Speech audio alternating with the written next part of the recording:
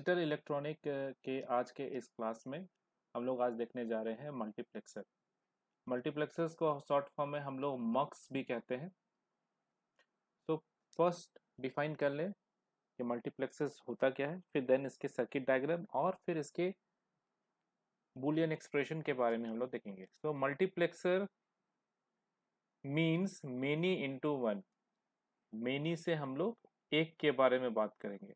Many से one a multiplexer circuit with many input but only one output बोलते multiplexer circuit एक ऐसा circuit होता है जिसमें बहुत सारे इनपुट्स होते हैं लेकिन आउटपुट हमारा ओनली वन होगा। By applying control inputs we can steer any input into output मतलब कंट्रोल uh, इनपुट को अप्लाई करते हुए कंट्रोल सिग्नल्स को अप्लाई करते हुए इनपुट को हम आउटपुट में, किसी भी इनपुट को हम लोग आउटपुट में चेंज कर सकते हैं। Thus it is also called the data selector और control inputs are term as select inputs that means हमारे पास मल्टीप्लेक्सेस में कौन कौन से चीजेस होंगे? इनपुट्स होंगे कंट्रोल्स होंगे और आउटपुट होगा।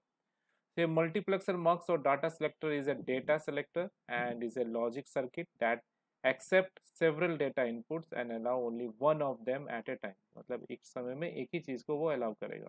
To get through the output तो जैसा ये हमारा एक मल्टीप्लेक्सर का सर्किट्स है, जिसमें हमारा ये साइड में जो हम लोग लेफ़्ट साइड में देख रहे हैं, ये हमारे एन इनपुट्स हैं, इसलिए हम लोगों ने किया है, इसको लिखा है एन टू वन मतलब एन हो गया हमारा नंबर ऑफ़ इनपुट्स के लिए और वन हो गया चूँकि एक ही आउटपुट है, इसलिए this is N into one controls input जो है, वो जो इनपुट को कंट्रोल करता है आउटपुट के साथ कंट्रोल करने के लिए तो वो है हमारे यहाँ पे N so one two three इस तरह से करते हुए इसको हम लोगों ने m, चूँकि दोनों वैल्यू सेम ना हो, इसलिए हम लोगों ने यहाँ पे m से डिनोट किया है।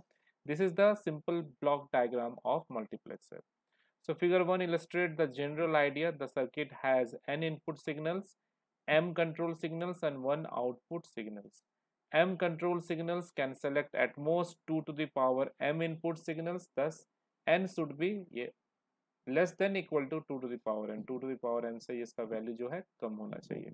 ये एक बेसिक कंडीशन है जो हमारे हमको याद रखना पड़ेगा, जो हम लोग बाद में देखेंगे, डिस्कस करेंगे। अब आते हैं हमारा सबसे पहले four into one multiplexer logic circuit. ये लॉजिक सर्किट्स है मल्टीप्लेक्सर्स के लिए। जहाँ पे फोर है, दैट मीन्स वेरीफायर्स जो इनपुट होंगे वो चार होंगे और आउटपुट जो होगा वो हमारा वन होगा। ठीक है? तो हमारे पास चार इनपुट है D naught D one D two and D three okay सभी अलग अलग सर्किट्स के साथ इसको ज्वाइंट किया गया है अलग अलग डायग्राम के साथ। और सब में एक एंड गेट यूज़ किया गया है। तो टोटल हमारे पास चार एंड गेट है वन टू थ्री फोर ठीक है? आ, उसके बाद पहले वाले के साथ अगर हम लोग देखें दो इनपुट यहाँ पे आउटपुट हमारा लग रहा है। सॉरी कंट्रोल सिग्नल्स जो। है हमारे दो हैं एक ए है और एक बी है ठीक है? आ, तो ए और बी के लिए हम लोगों ने चूँकि फोर है तो ऑब्वियसली फोर कहाँ से आएगा? फोर के लिए हमारा हो जाएगा टू टू दावर टू इसलिए हमारे पास कंट्रोल या सेलेक्ट कंट्रोल जो के वैल्यूज़ हो गया दो इसलिए हम लोगों ने यहाँ पे ए और बी को यूज़ किया। तो सबसे पहले ए ए का अगर नॉट गेट यहाँ पे लगा दें तो नॉट गेट में ऑब्वियसली यहाँ पे ए बार जाएगा सिग्नल उसके बाद एक और नॉट गेट से सिग्नल यहाँ जा रहा है ए बार जा रहा है। तो पहले वाले में एंड गेट में हमारे पास जो जा रहा है, वो है ए बार बी बार और डी नॉट दूसरे वाले में, चूँकि हमारा ए ए और बी का क्या क्या कॉम्बिनेशन हो सकता है? कॉम्बिनेशन हो सकता है A bar B bar. Next combination A B third combination A B bar. And last combination is A B. उसी तरह से इस सर्किट को अरेंज किया गया है। तो पहले वाले में डी डी नॉट तो और D one D two D three ये तो रहेगा ही। साथ में ये हमारे कंट्रोल सिग्नल्स हैं जो अलग अलग वैल्यूज़ के लिए हम लोग यहाँ है। और लास्ट में एक और गेट है जो सारे वैल्यूज़ को ऐड करेगा। दैट मीन्स हमारा जो आउटपुट होगा ये चारों के ऐड के बराबर होगा। हम लोग ए और बी के वैल्यूज़ से हम लोग D naught D one D two D three को कंट्रोल कर सकते हैं। कैसे करेंगे अभी हम लोग देखेंगे। सो so, अगर हम लोग अप्लाई करें लॉजिक अप्लाई करें। सो so, पहला वाला में हमारा अगर हमारा ए और बी को one one input signal apply करें तो पहले वाले का हमारा जो है वो है A one B one D naught दूसरा है हमारा ए बी डी वन उसी तरह से नेक्स्ट है A B bar D two third one is A B D three so let A is equal to one and B is equal to one तो A और B का complement हो जाएगा zero into zero ठीक है? तो ए के लिए जगह पे हम लोग ज़ीरो लिखे बी के जगह ज़ीरो और डी नॉट का वैल्यू यहाँ पे आउटपुट में हमारा आएगा। उसी तरह से आ, अगर ए का वैल्यू यहाँ पर ए बार है तो ये ज़ीरो ये वन ये हो गया डी वन उस तरह से one zero D two one one D three this is four into one logic circuits The circuit diagram of 4 into 1 multiplexer is shown in the figure 2 and it is truth table is in figure 3. This is figure 3. And depending upon the control input A and B, one of the four input D2 to D3 is steered to the output Y. So let us write the uh, write the logic equation of these circuits. Clearly, it is given a SOP form. That is, हम लोग uh, जानते हैं what is SOP. That is SOP is the sum of product.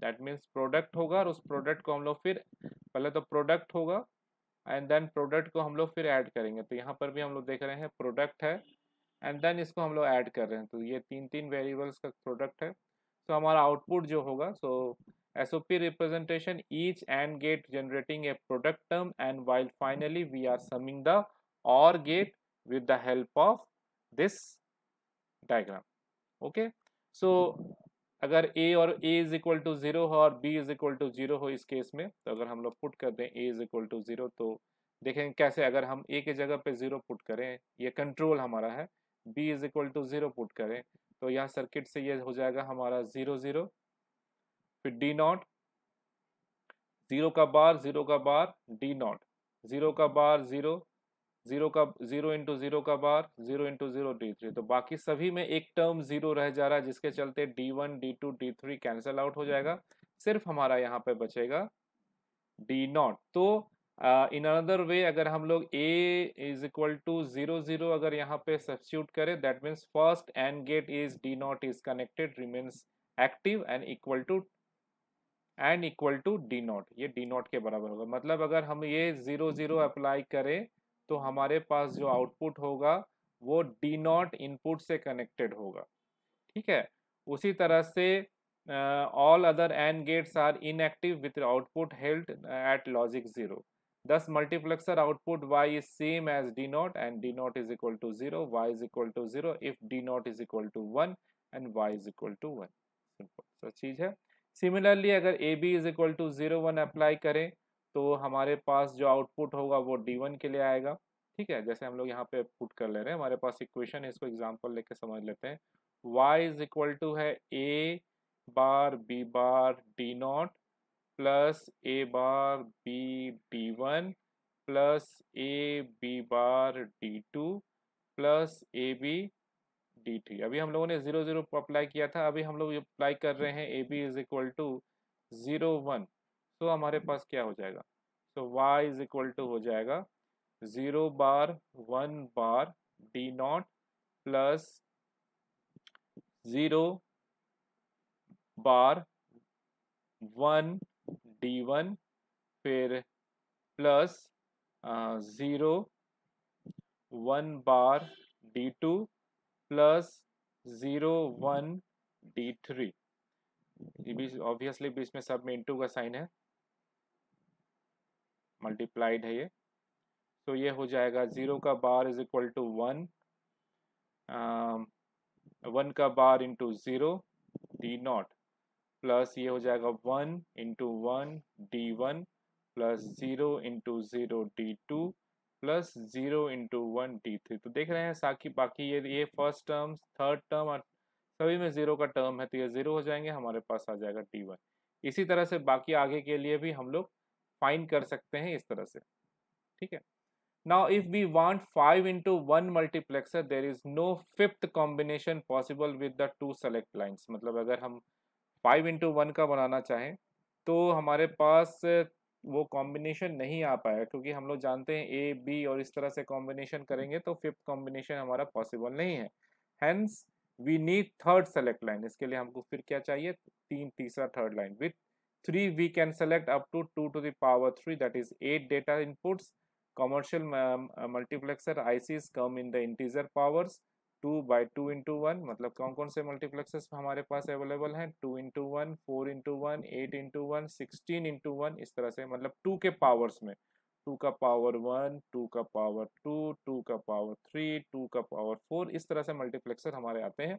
जो हम लोगों ने formula भी देखा था two two the power M का फॉर्मूला जहाँ पे एम जो है वो कंट्रोल्स लाइन को सेलेक्ट करता है या उसको डिनोट करता है। So multiplexer is the device which have two into one input lines and single output lines which control by and control signals multiplexer का डायग्राम कुछ इस तरह से हम लोग नोट करते हैं। डी ये हमारा टू इंटू वन का मक्स है, जिसमें एक सेलेक्ट लाइन है। उसी तरह से ये फोर इंटू वन का मल्टीप्लेक्स है, जिसमें फोर इनपुट है, एक आउटपुट है और दो सेलेक्ट लाइन्स है। एट इंटू वन के लिए हमारा two two the power three, that means हमारे पास इन कंट्रोल लाइन्स तीन होंगे और इनपुट्स होंगे हमारे आठ और हमारा आउटपुट होगा वन। उसी तरह से एन इंटू वन के लिए एन होंगे हमारे इनपुट लाइन्स और एन जो होंगे वो होंगे हमारे कंट्रोल लाइन्स ये एन इंटू वन का मल्टीप्लेक्स है। आउटपुट तो ऑब्वियसली हर केसेस में हमारा वन ही होगा। अब आते हैं इसका डायग्राम लिखने के लिए मतलब बुलियन एक्सप्रेशन लिखने के लिए तो टू इंटू वन मर्क्स अगर है तो इनपुट हमारा दो है, D not and D one, output एक, कंट्रोल लाइन ए तो अगर हम ए का वैल्यू ज़ीरो पुट करेंगे, इस इक्वेशन से, क्योंकि हमारा इक्वेशन हम लोग जानते हैं Y is equal to S form है ए बार डी वन एक बार में, दूसरी बार में होगा ए डी वन तो जैसे हम लोग ए और बी के लिए किया था जैसे यहाँ पे तो अगर हम A is equal to zero put करेंगे तो ज़ीरो का बार हो जाएगा one into D one plus zero that means इस केस में हमारा आएगा डी वन और जब वन पुट करेंगे तो उस सॉरी ज़ीरो जब पुट करेंगे तो हमारे पास आएगा इस केस से A bar D one not और जब वन पुट करेंगे तो ए डी वन हमारे पास आएगा। ठीक है? इस तरह से बाकी वैल्यूज़ को हम लोग फाइंड कर सकते हैं। इसका हमारा डायग्राम हो जाएगा दो नैन गेट और सो दो एंड गेट और एक और गेट, ठीक है? Two and gates and one और gates and output is Y is equal to D not A bar plus D one A उस तरह से फोर इंटू वन मर्क्स के लिए हम लोग फोर इनपुट लेंगे और दो इनपुट कंट्रोल सिग्नल्स लेंगे। इसको तभी हम लोग देख चुके हैं ए और बी के लिए अलग अलग combination A bar B bar A B A bar B A B bar A B so यहाँ पे zero zero D one D not आएगा ज़ीरो वन पुट करेंगे तो डी वन आएगा वन ज़ीरो पुट करेंगे तो डी टू आएगा और वन वन पुट करेंगे डी थ्री और ये इसका लॉजिकल डायग्राम है बुलियन एल्जेब्रा के लिए। तो इसका एसओपी फॉर्म हो जाएगा A B A B bar A bar B bar D not plus A bar B D one plus A B bar D two plus A B D three उस तरह से eight into one मक्स अगर होगा तो eight into मक्स के लिए हमारे पास eight signals होंगे और एट सिग्नल्स के साथ हमारे पास तीन इनपुट्स होंगे। कंट्रोल सिग्नल्स के और एट इंटू वन मार्क्स है आउटपुट तो हमारा एक ही होगा और इसका कॉम्बिनेशन को इस तरह से हम लोग लिख सकते हैं। अगर हमारा सबसे पहले ए बी सी है तो ए बार बी बार सी बार साथ में डी नॉट फिर हम लोग स्टार्ट करेंगे A bar B bar C D one plus A bar B C bar D two plus A bar B C D three उसके बाद हमारा A B bar C bar D four plus A B bar C D five and then A B C bar D six plus A B C D seven इस तरह से हम लोग combination find कर सकते हैं एट इंटू वन मक्स के लिए। ठीक है? और फिर मक्स के मक्स के बाद हमारे पास कुछ प्रॉब्लम्स भी हैं जिसको हम लोग देखेंगे। तो सबसे पहले देख लें कि यूनिवर्सल लॉजिक सर्किट्स क्या है? So multiplexer sometime is call the universal logic circuits because it has two in to two the power N to one multiplexer can be made or use as a design solution for any N variable to table this we have been seen for the realization of four variable truth table by 16 to 1 multiplexer in below. जैसे 16 to 1 का है तो इस तरह से हम लोग find कर सकते हैं। जैसे यहाँ पे तीन है तो zero zero zero zero zero one zero one zero zero one one one zero zero, one zero one one one zero and one one one. Seven तक के लिए हमारा इतना आएगा। तो d इज़ इक्वल टू अगर ज़ीरो पुट करेंगे तो हमारे पास ये वैल्यूज़ आएँगे। D is equal to one put करेंगे तो हमारे पास ये वैल्यूज़ आएँगे। And y is equal to हो जाएगा d bar one one zero one one one D तो eight into one mux data inputs के लिए डी नॉट का वैल्यू हो जाएगा डी बार डी वन का वैल्यू हो जाएगा वन डी टू का वैल्यू हो जाएगा वन डी थ्री का वैल्यू हो जाएगा ज़ीरो डी फोर का वैल्यू हो जाएगा वन डी फाइव का वैल्यू वन डी सिक्स का value one and D seven का वैल्यू हो जाएगा डी जो हमारे इस डायग्राम से आया है। ठीक है? ये सिंपल सा डायग्राम है बहुत सा इजी है। हम लोग इसको देखते भी आ रहे हैं बहुत अच्छी तरह से।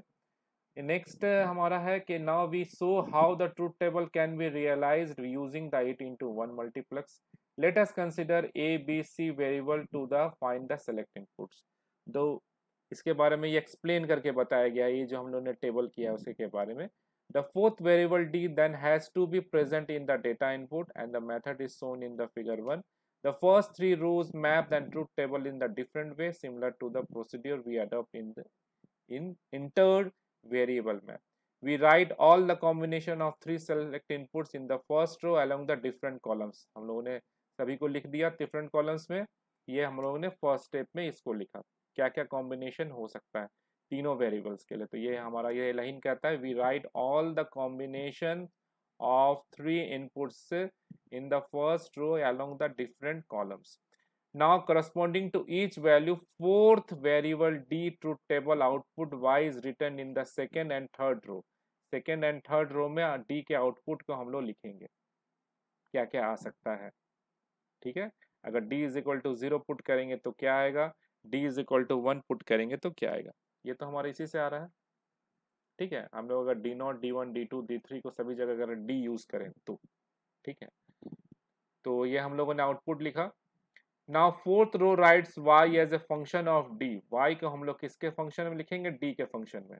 तो डी डैश कहने का मतलब है कि D dash is the D bar का वैल्यू तो यहाँ पे अगर हम डी का वैल्यू वन लिख रहे हैं तो obviously D bar is equal to zero होगा। तो इसलिए हम लोगों ने यहाँ पे डी डैश लिखा है। फिर ये वन है, ये वन है, फिर ये ज़ीरो है, फिर ये है वन है वन है वन है, और लास्ट में हमारा ये डी ठीक है? So copying y value obtained in the previous row, this is because of each select variable combination is the multiplexer. Transfer a particular input to the output and 8 into 1 multiplexer. ABC is equal to 0, 0, select D naught, ABC is equal to 0, 0, 1, is select D1 and so on. The corresponding circuit shown in the figure 2. Hence, we can choose any of the four variable of truth table to feed as input data 1 that's why this is called the universal circuit. Okay? Now कुछ problems है इसके related तो ये हम लोग next class में discuss करेंगे। आज के क्लास में हम लोगों ने सिर्फ़ मल्टीप्लेक्सेस क्या है, इसको हम लोग डिटेल्स में देखा। इसके कुछ एग्जांपल्स कल के क्लास में देखेंगे कुछ उसके प्रॉब्लम्स को डिस्कस करेंगे और प्रॉब्लम डिस्कस करने के बाद फिर हम लोग डी मल्टीप्लेक्सेस जो मतलब मल्टीप्लेक्सेस का जो ऑपोजिट होता है, जस्ट हम लोगों ने जैसे एन से वन को यूज़ किया मतलब एन हमारे इनपुट्स हैं और एक आउटपुट है। तो जस्ट इसका ऑपोजिट भी हो सकता है कि अगर हमारे पास वन इनपुट हो और एन आउटपुट हो तो उस कंडीशन को हम लोग कहते हैं डी मक्स या डी मल्टीप्लेक्सर तो इसको हम लोग नेक्स्ट क्लास में देखेंगे।